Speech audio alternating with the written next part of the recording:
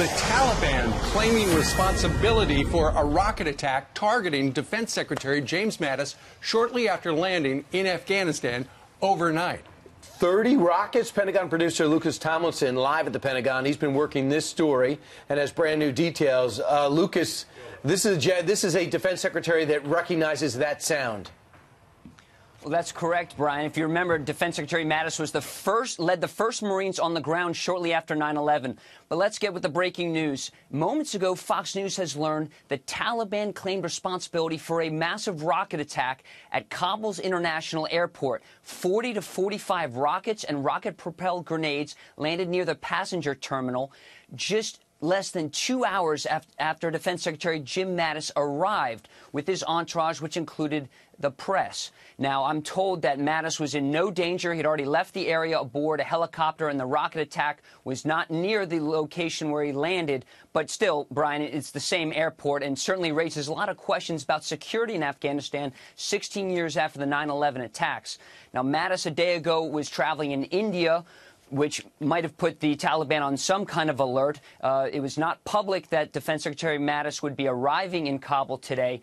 He arrived aboard an Air Force C-17 cargo plane along with the uh, NATO Secretary General uh, for a press conference and meetings with Afghanistan's President Ghani. Uh, during a press conference a short time ago, Mattis spoke about the attack. An attack on an international airport anywhere in the world is a criminal act by terrorists. It's designed to go after generally innocent people to make some sort of statement. And this is a classic definition of what the Taliban are up to right now. We will suffocate any hope that Al Qaeda or ISIS, Daesh, Haqqani, or the Taliban have of winning by killing. I want to reinforce to the Taliban that the only path to peace and political legitimacy for them is through a negotiated settlement. Now, Secretary Mattis arrived in Kabul just after 11 p.m. Eastern Time, about 7:30 a.m. local. Now, this is the first trip by Defense Secretary Mattis after President Trump announced a new plan for South Asia, for Afghanistan and Pakistan, where 3,000 additional troops would be arriving shortly in Afghanistan to join the more than 11,000 U.S. troops currently there. Now, Already, the, uh, the, U.S. Air Force has been stepping up airstrikes in Afghanistan. Uh, there were more airstrikes in August than any month since 2012. Back to you guys. All right. Uh, Lucas Tomlinson live at the Pentagon with the breaking news. Lucas, thank you very much. Meanwhile, 16 yeah. years later. That we've been in Afghanistan for 16 years.